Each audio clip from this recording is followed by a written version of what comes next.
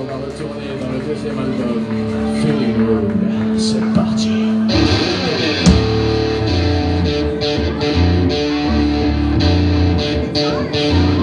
Bruxelles, est-ce que tu aimes le groove